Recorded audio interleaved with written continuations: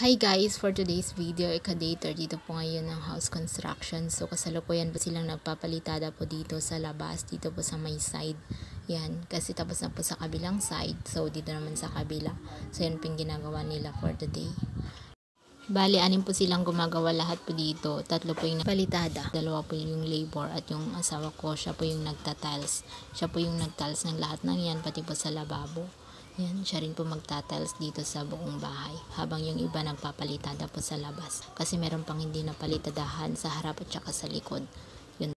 So, yung asawa ko rin po yung nagkabit po ng mga hamba, tsaka ng pintuan.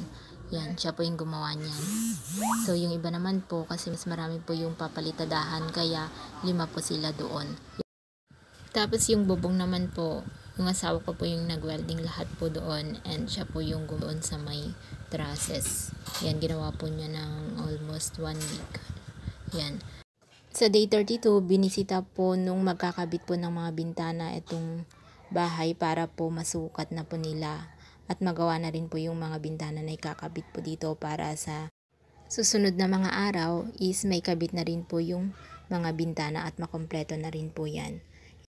So may mga bintana pa po kasi na hindi pa nakantuhan kaya yun po yung ginagawa ng iba. So as you can see po marami na pong nagawa sa ika day 32.